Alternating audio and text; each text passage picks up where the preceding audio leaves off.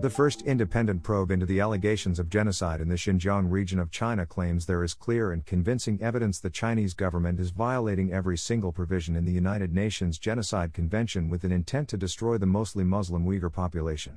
The report, published Tuesday by the Newlines Institute for Strategy and Policy, a nonpartisan Washington, D.C. think tank, involved more than 50 global experts in human rights and international law who conducted the first non government analysis of China's alleged actions in Xinjiang. The experts, considering eyewitness testimonies and official government documents, concluded the Chinese government bears responsibility for an ongoing genocide which involves mass internment, a mass birth prevention strategy, and other policies and practices geared toward either fully or partially eradicating a population of up to 2 million Uyghurs that's been detained since 2014. The report claims evidence that the Chinese government is violating all five provisions of the UN Genocide Convention, any one of which would constitute a genocide, killing members of the group, causing serious bodily or mental harm to members of the group, deliberately inflicting conditions of life calculated to bring about its physical destruction in whole or in part, imposing measures intended to prevent births, and forcibly transferring children out of the group.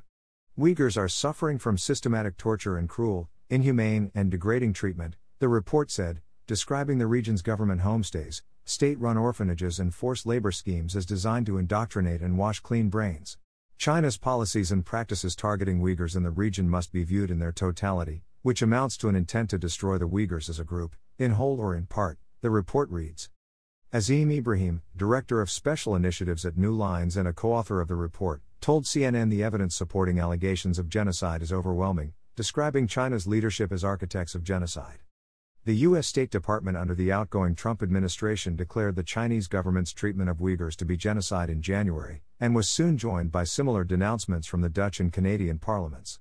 Meanwhile, the Chinese government has repeatedly defended its actions in Xinjiang, with Foreign Minister Wang Yi calling allegations of genocide preposterous during a March 7 news conference.